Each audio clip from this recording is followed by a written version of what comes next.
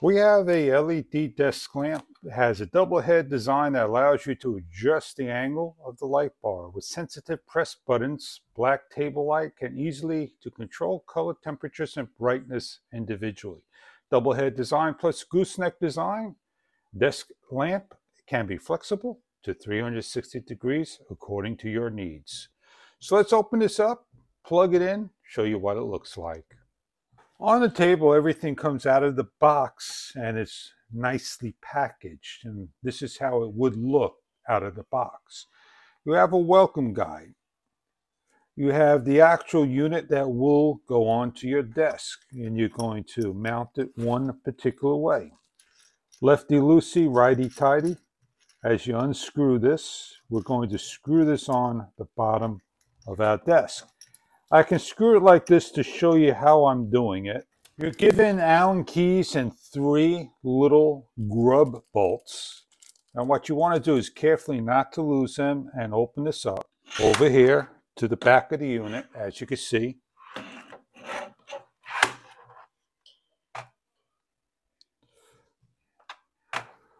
You're going to start to wind this in. And then you're going to turn this to you see where that grub bolt will go in over here.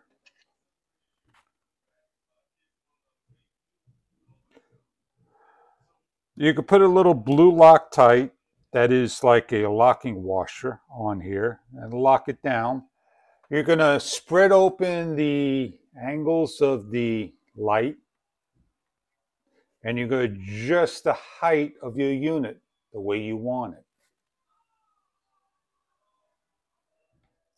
With the dedicated DIN plug, you plug the power bank into the outlet and light goes on. For my demonstration purposes, I kept this low. You have an off and on switch. You have a CCT that changes the Kelvin